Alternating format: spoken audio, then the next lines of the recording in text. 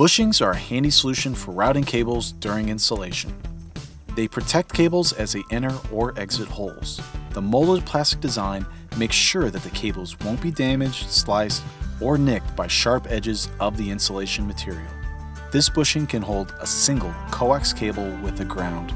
It is available in black or ivory.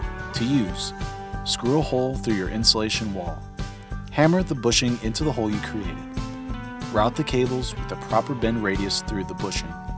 If the cables are being installed on an external wall, we recommend sealing around the bushing and also around the cables on the inside of the bushing. This prevents water or cold air from entering the home through the bushing. For all of your insulation needs, choose Show Me Cables.